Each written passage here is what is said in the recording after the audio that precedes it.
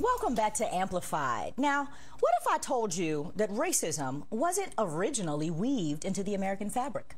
It's hard to believe that the racial divide that persists today wasn't always ubiquitous. In fact, it was the colonial elites who were responsible for crafting and stoking this division when they arrived in the quote, New World. Rich white people have been pitting their poor against people of color ever since. It seems we've made progress since the early days of the settlers, but from where I'm sitting, I can't say that it's nearly enough. So, just how much headway has our society made on the race front? To help me suss out the answer, we have tapped longtime writer, activist, and anti-racist advocate Tim Wise. I got to tell you guys, I am so excited to have Tim on Amplified tonight. I am such a, a fan and an admirer of his work. He's amassed 25 years of experience as a lecturer and educator on racism and how to dismantle it. Welcome to Amplified, Tim. Thank you for being here.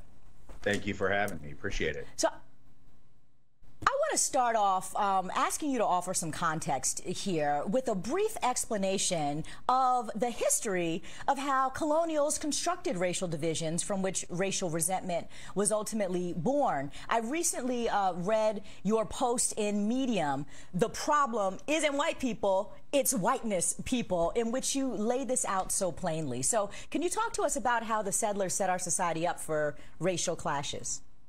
Sure. Um, well, first, I think it's important, and particularly in this moment when the right is insistent on pushing back on what they're referring to as critical race theory, what the rest of us just call accurate history and truth, um, and on in you know on their part saying that racism you know isn't something that was baked into our country from the start. Well uh, it, it, wasn't if you go back to the colonial period. Now, by the time we got to the founding of the country, it was there, and I'll get to that in a second. But but speaking to your question, uh, you know, when the colonies begin, uh, we know, of course, that the vast majority of of indentured persons uh, who were African worked side by side with indentured Europeans. This is before chattel slavery was firmly entrenched. So early on, at the very beginning uh, and some historians would, you know, argue differently on this, but some were enslaved as what we would consider truly enslaved. Others were indentured, as were other quote unquote white people, not called that yet.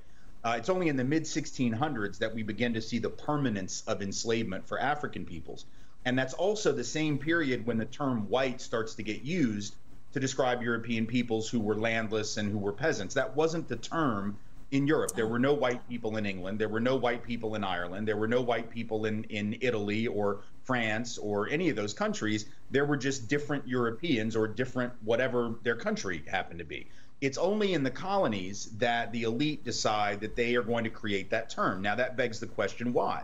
Why did they do that? Did, was there some new archaeological discovery that linked us all together in one chain of European mutuality? No. Was there some linguistic discovery? No. What was discovered was that the rich in Virginia, in particular, uh, but also other colonies, looked around and they did the math. And what the math told them was you take all these black folks who we have now enslaved, and you add to that these poor, landless European peasants they outnumber us like 10 to 1, 15 to 1, 20 to 1, because we got a handful of people run all this land and have all this property and all this power. We better figure out a way to split them from one another because there were rebellions that these poor people would engage in where you had landless Europeans and landless black folks, African folk, uh, joining to overthrow aristocracy in places like Virginia, Bacon's Rebellion, 1676. So after that, right, mm, you have mm-hmm. Certain things to create whiteness and to give white people certain perks, certain advantages. So they get rid of mm. indentured mm. servants. They, they allow European peoples who are poor to, to own land, not much, just a little, and of course only the men, so it certainly wasn't universal. But the idea is you start right. rolling out these privileges and these advantages, and then what happens? Those rebellions stopped because these European peasants started thinking they were on the same team as the rich. And by the time we get to the Civil War, you have the elite in the South getting all these poor white folk to go do their fighting for them and do their dying while they sit back on the back porch drinking a mint julep and uh, having black folks do all the hard work. and they send the poor white people out to, to get shot at. Uh, so it's a trick that has worked. It has worked for 400 years. Uh, it's the trick that Donald Trump tried. Uh, you know, he opened up the playbook. I was just going to say, it's happening right now. Yeah, I mean, it's, yeah. it's the old, as, as, you're, as, you're, describing all of this, I'm I'm seeing Trumpism play out right right in front of us, and I, I wonder, you know, you've been looking at all these trends over the years. You've been talking about this um, for some time and studying and teaching it. I wonder, what is your assessment about you know the way that racism is being used as a manipulation tactic ongoing? Have we made any headway in our society? Has anything changed? Well, I mean, it would be it would be disrespectful to the memories of those who fought and died to change things as much as have been changed to deny that there have been impressive and important victories. Even those of us who come out of the critical race theory tradition, contrary to the to the caricature of that tradition, we all acknowledge the victories of the civil rights movement, the victories of the abolition struggle. Those are real victories.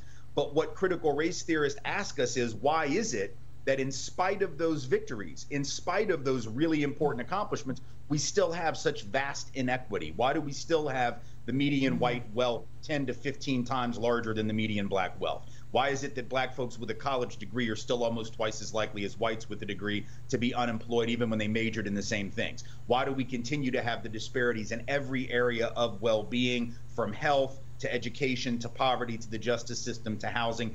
When we've had all those victories, those inequities should have shrunk. Critical race theory says, well, the reason is that we have had a much more embedded system of white domination than some would, would want us to believe. And so merely passing laws doesn't change the inertia. It's like Newton's first law of motion, right? Which is the law of inertia. An object in motion tends to remain in motion. Mm. That's true of history as well. Mm-hmm. So when you have hundreds of years where certain people are able to accumulate advantage, the fact that you pass laws that theoretically say you can't discriminate anymore, number one, that doesn't mean there isn't discrimination. I mean, we have laws against murder. People get killed 15 to 20,000 times a year in this country. So laws don't stop mm-hmm. certain bad behavior. But even if they did, the inertia of all that past history is still with us. And so when you don't undo that history, when you don't actually try to rectify that history, it's like having an eight lap race. Certain people are five laps ahead, or a certain team is five laps ahead of all the other teams. exactly. And they cross the finish line first and they brag about how fast they are. You know, that's where we are right now. Mm-hmm. Tim, I have one minute left, but before we go, in your latest book, you write, quote, to accept racism is quintessentially American, and to rebel against it is human. Be human. What do you mean by this? Well, that larger piece was basically, you know, making the point that um, one of the, you know, the arguments that people on the right will make is that those of us who are fighting racism are un-American.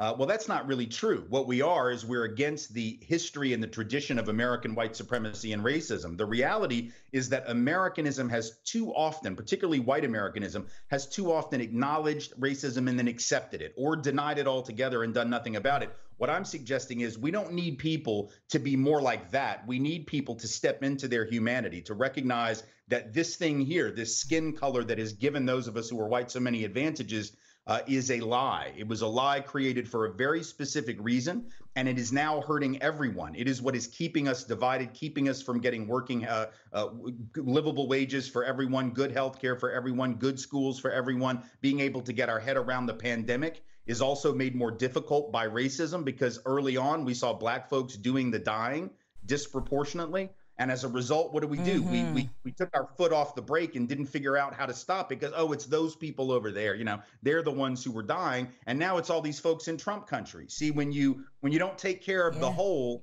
everybody suffers, and so we need to be human principally, and that means those of us who are white have to rebel against the perks of whiteness because they come with a cost, and we're seeing mm. that cost right now.